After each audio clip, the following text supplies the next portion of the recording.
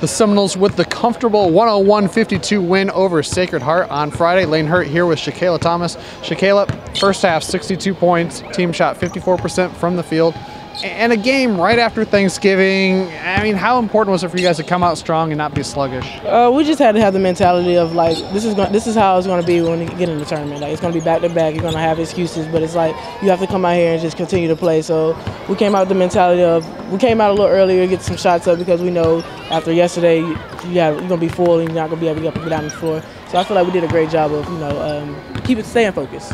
28 points, eight rebounds for you. You really seem to get it going in the second quarter. What what's it like for you when you get into that groove offensively? It's just I, honestly, it's a I don't even know what kind of feeling it is. It's just I guess it's just like throwing a, a rock into the ocean. I feel like my teammates set me up for a good position to you know make easy shots and make easy passes and buckets. So I feel like this goes out to them.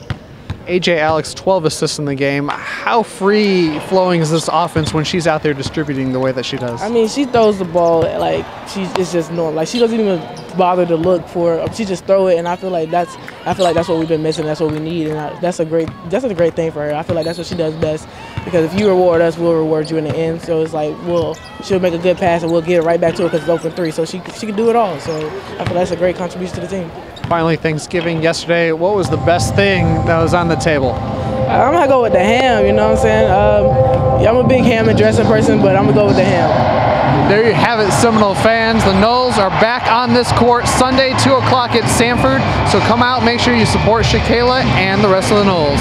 For Shakayla, I'm Layne. Go Noles.